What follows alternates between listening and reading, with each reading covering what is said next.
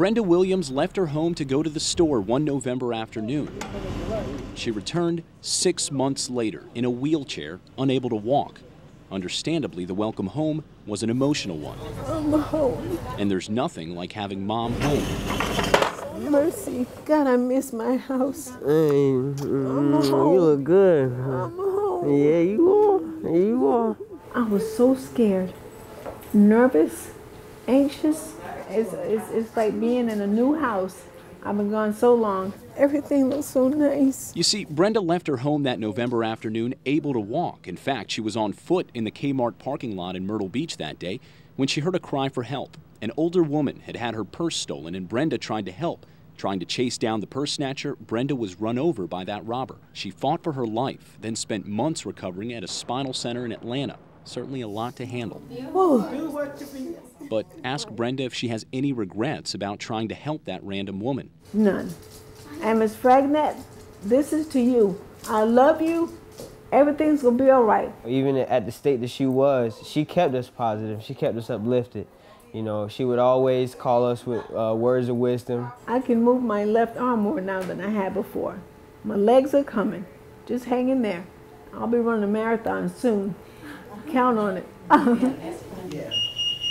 It's that attitude that is already getting her moving. no more crying.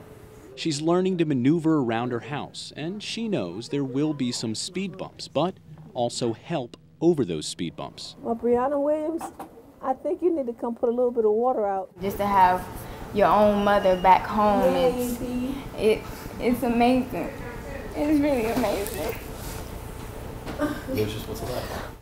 It's it's overwhelming. You know, um, my mom, she's she's definitely the rock. You know, of our family.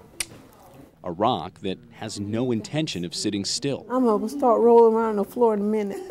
She has plans beyond the chair, and she's bringing her sense of humor. I guess I'll go start getting me a tan a little bit on the beach. In the chair, I can recline. Let me show you. I can lay back. Wait a minute. it's an awesome chair. Look at my Cadillac. And though she returned from the store a bit different, she returned still very much the same way she left. As it was before, like it hadn't, she hadn't missed a beat. You know, and that's how that's how we were brought up. You know, to to find the best out of everything. Look at me. Look at my family. This is so great. Thank you guys so much. so you like your mommy Oh, it's beautiful, baby.